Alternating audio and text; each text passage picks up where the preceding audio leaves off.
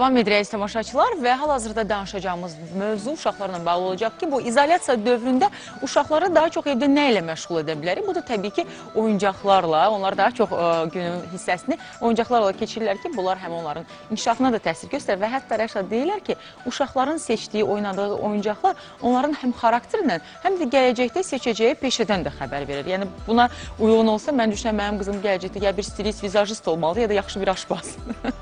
Mənim qızım Elina nələrlə oynayır? Mənim qızım yəqin ki, Slesor olacaq, ya da kabas şoförü bilmirəm artıq nə olacaq. Çünki bizdə ancaq belə deyək də, maşın, avtomobil, nə isə qırmaq, dağıtmaq, sökmək, biz bu işlərlə məşğul oluruq. usta olacaq gələcəkdə. Yəqin ki, bilmirəm indi nə Maşını olacaq. yığıb sökəcək, bəlkə yeni bir ixtiralar olar. Hər, hər şey ola bilər. Mən mən buna hazıram və böyük məmnuniyyətlə onun hər seçiminin yanındayam, qarşısındayam əziz dostlar. Ümumiyyətlə uşaqların ə, oyuncaqlar onların psixoloji inkişafına çox müsbət təsir göstərir. Bir qrup mütəxəssis isə söyləyir ki, əslində biz uşaqlarımıza oyuncaqları real oyuncaqlar şəklində təqdim etməməliyik. Bu cür halda təqdim olunduqda onların fantaziyası inkişaf etmir və biz nə etməliyik? Bu oyuncaqlarda onları kənar tutmaq lazımdır.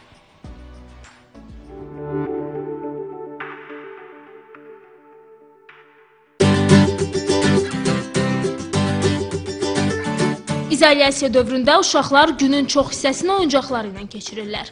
Oyuncaqlar yalnız əyləncə vasitəsi deyil, həm də balacaların əqli, fiziki və emosional inkişafında böyük rol oynayır. Valideynlərin şuuru şəkildə seçdikləri oyuncaqlar nə qədər müsbət təsir göstərsə də, eyni zamanda bilməyərəkdən seçdikləri oyuncaqlar da uşaqlara həqiqətən də mənfi yöndə təsir göstərir. Bu gün günümüzdə qeyd etdiyim kimi, elektronik tərkibli oyuncaqlar olduqları üçün uşaqlarda müəyyən problemlər yaranmağa başlayır və bu da uşaqların gələcəkdə şəxsiyyət, şəxsiyyət kimi formalaşmasına, ümumiyyətlə onların gələcəkdəki insanlarla rəftarına mənfi yöndə təsir göstərir. Müəyyən bir dövrə qədər, məsələn, ki, 7-8 yaşlarına qədər valideynlər əsas seçməlidirlər. Amma müəyyən bir dövrdən sonra artıq valideynlərin yönəlişdiyi nəticəsində uşaqlar da valideynlərin istədiyi tipli oyunlar seçə bilirlər. Oyuncaqlar xarakterin formalaşmasına da təsir edir.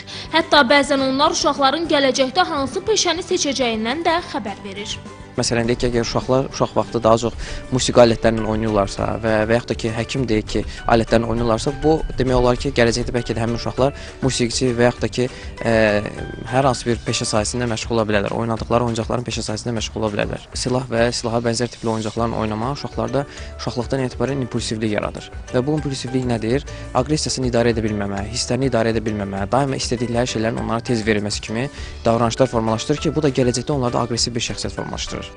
Uşaqların ən yaxın dostları olan oyuncaqlar düzgün seçilmədikdə təhlükə mənbəyinə çevrilə bilər. Ona görə də mütəxəssislər valideynlərə bu işdə daha diqqətli olmağı tövsiyə edirlər. Səkinə Hacıyeva, Cavid Şərifov, Telesəhər.